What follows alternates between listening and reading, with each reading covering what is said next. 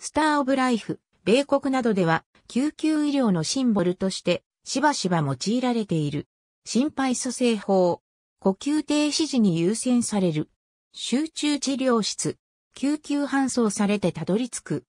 プレホスピタルケアのためのキットの数々。EN、 Lincolnshire Integrated、Voluntary Emergency Service、リンカンシャーのボランティア組織による救急医療活動のモノ救急医療とは、人間を突然に襲う外傷や感染症などの疾病、すなわち急性病態を扱う医療である。救急医療は医の原点とも言われるが、救急医療は常に人類と共にあったとも言える。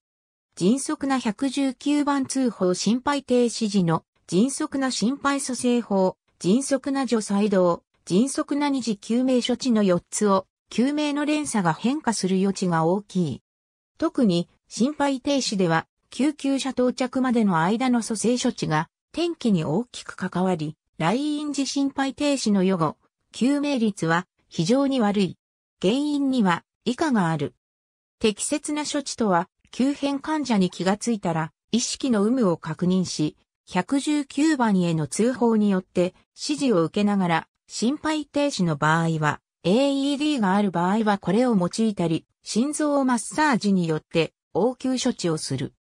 AED は、初心者や心肺蘇生の経験がない人でも説明書の通りにパッドを胸部につけるだけで電気ショックを与えるかどうか判断し、機械が自動的にやってくれる。機器がなくても心肺停止後、または意識がなく呼吸がない場合、酸欠の場合も気道閉塞がないかを確認し気道確保後、救急車到着まで人工呼吸と心臓マッサージを行う。救急車到着後、救急隊員によりバイタルが確認され、必要な場合、一時処置が行われる。病院到着後は、輸液や輸血などが行われ、外傷や血管破裂により出血がある場合、循環動態を安定させるために止血を行う。また肝臓が損傷している場合、プリングル法、パッキング型、ダメージコントロール手術を検討する。心臓や大血管系、肺、脳、脊髄に損傷がない場合の存命率は高く、予後は良好である。急性病態の場合、救急車到着前、病院到着前の処置が非常に重要となってくる。救急救命士制度の創設により、救急車内での処置が拡大されている。また、救急救命士のスキル向上のためにアッコルズやジャテックを受講する救急救命士も増加している。一般人でも自動車運転免許取得の際には、心肺蘇生法の受講が必須項目とされている。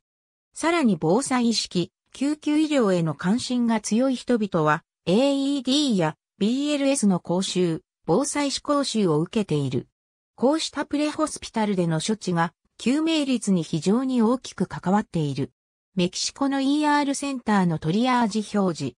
患者が救急医療を利用する場合には、生命の危機が迫っている、耐え難い苦痛があるなどの緊急性があることを意味するが、通常、自分で病状の軽重を判断することは困難である。このため病状は軽くとも不安が強く救急医療を求める人々も多い。このため、まず、これらの緊急性の判断がなされる。また、複数の傷病者が発生している場合には、重症の患者を最優先にすることも行われ、救命できる可能性が高く、より重症な患者の診療が最優先とされる。日本では診療報酬として院内トリアージ実施料が設定されている。イタリアの救急車ニューヨークでは救急救命室が比較的大きな病院に設置されており、救急車やタクシーで搬入される患者を受け入れている。ただし、2012年現在アメリカ合衆国では、国民皆保険制度が完全施行されておらず、救急救命室には医療費を支払う能力のない軽症患者も多く訪れるため、トリアージが行われる状況になっている。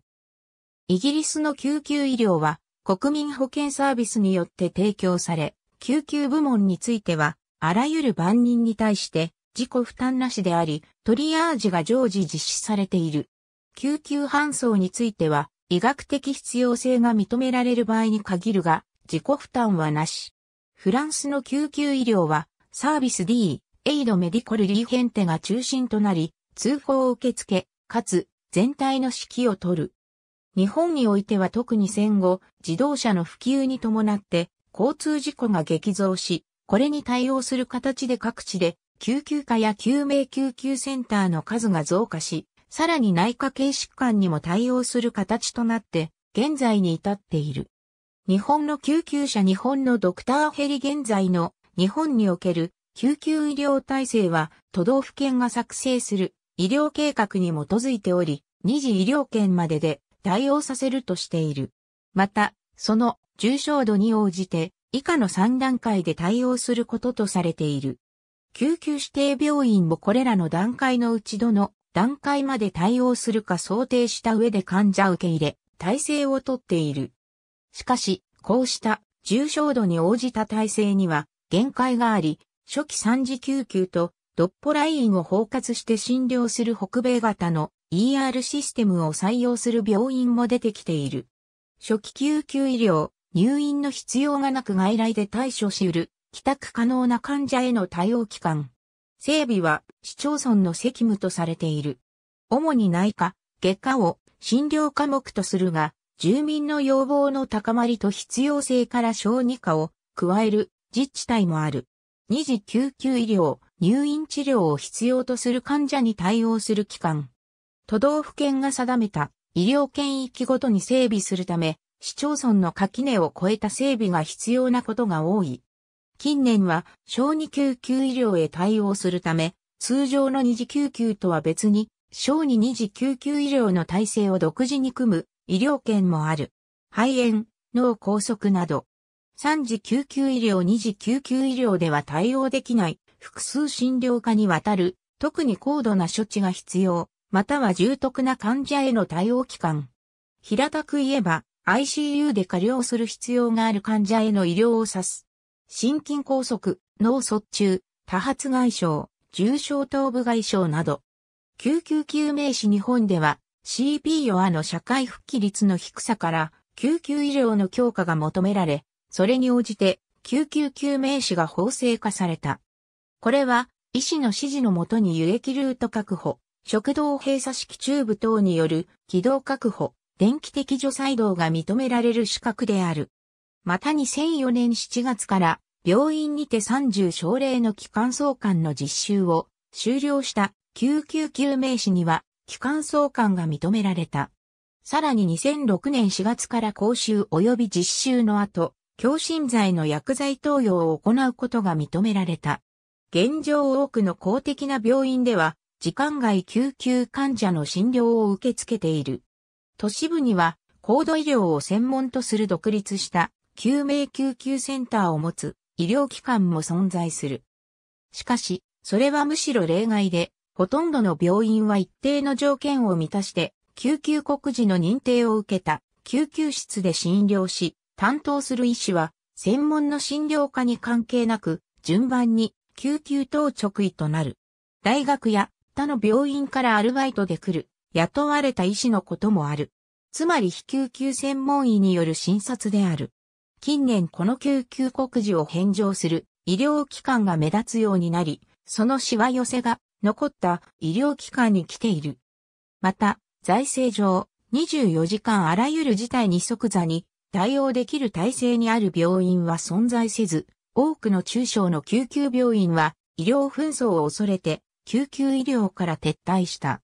救急車の出動件数も年々増加の一途をたどり、これに伴って救急車の到着時間、病院収容までの時間が伸びている現状がある。その背景として無料である虫歯が痛い夜間のタクシー代わり、どこの病院に行っていいかわからないから救急車を使えば優先的に見てもらえるからという悪質な利用も見られ、社会問題化している。このため、総務省消防庁では、救急車利用の適正化を訴えている。また、上記のような悪質な利用者や救急車の必要がない軽症患者に対して、救急車の有料化の是非についても議論されているが、賛否両論あり、結論は出ていない。2015年、青森県では1月から9月の間に18回、救急搬送された患者が一番に3度も救急医療を受けるといった極端な例も確認されている。ありがとうございます。